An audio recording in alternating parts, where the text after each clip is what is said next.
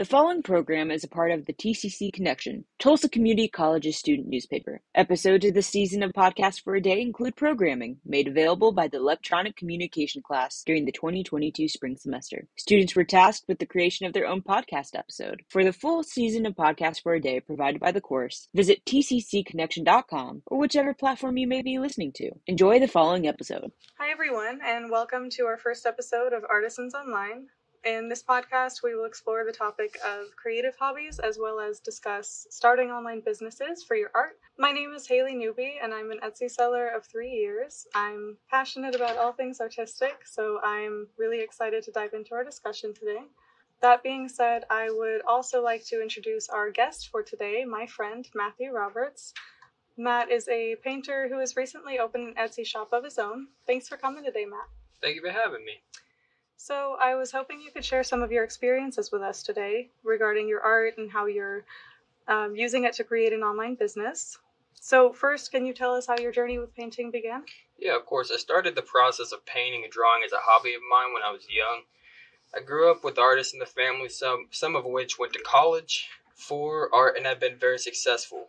I started taking lessons with my aunt and watching art videos on YouTube, then practicing my skills so eventually I'd be able to show my own work. When I was 19, I started selling my paintings online on Instagram. Although not everyone wants to buy amateur paintings, I still built up a small following. I spoke with some Etsy sellers like yourself and was convinced that I could sell more on an online shop and hopefully turn my paintings into a real income source.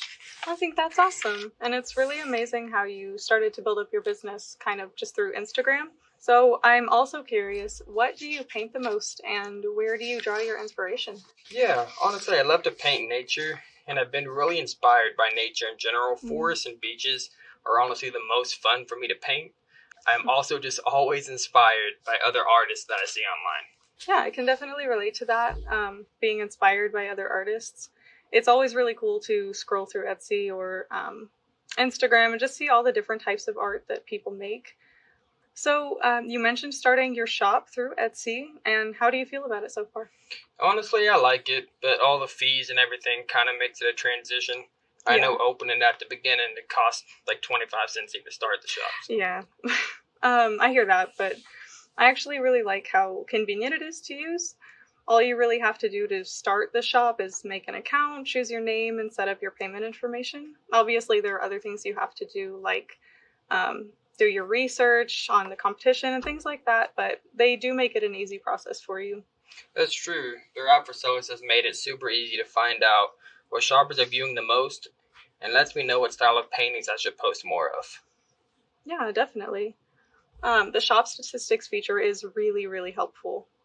So, um, based on what you've seen so far, would you recommend Etsy to our listeners? Absolutely. There are several great options for starting out. Like I said, Etsy is easy to use. I also looked at a at a, a website called Big Cartel, but Etsy makes it easier for customers to find you without a direct link. Exactly, and that kind of makes it a good place to start. So, um, since committing to turning this creative hobby into an income source, how many hours of work per week would you say you put into your online shop? Uh, right now, I would say it ranges anywhere from 25 to 35 hours per week, but I'm still starting out on a new platform. There's a lot to do from taking new product photos to listing each painting and self promoting on social media. I also have another job. Like I said, ideally, this will become a part time job for me, and those hours will start to regulate to about 15 to 20 per week. Yeah, I completely understand that when I started my Etsy shop for my jewelry, I poured all of my spare time into it. It's kind of hard to um, regulate your own hours.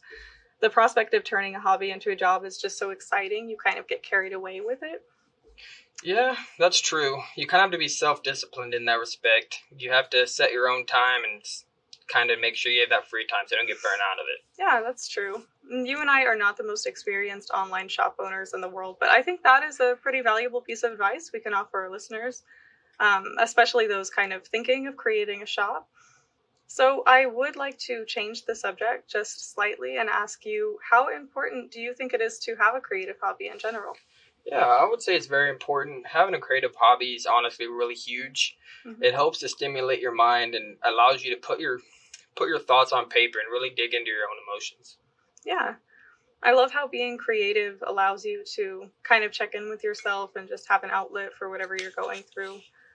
So, um, on that note, I read an article recently that had some interesting information on the topic of creative hobbies.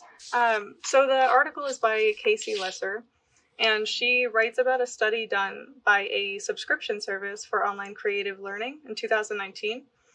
So, firstly, it found that 75% of Americans actually have creative hobbies, and others would like to have one. Really? That's more than I would have actually guessed.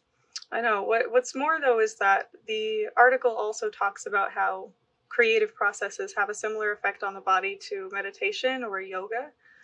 Your blood pressure actually reduces during creative activities. So, according to Casey Lesser, having a creative hobby and being fairly consistent with it can actually be enough to lessen symptoms of anxiety, depression, and um, even dementia further down the line. Wow, that's really crazy to consider.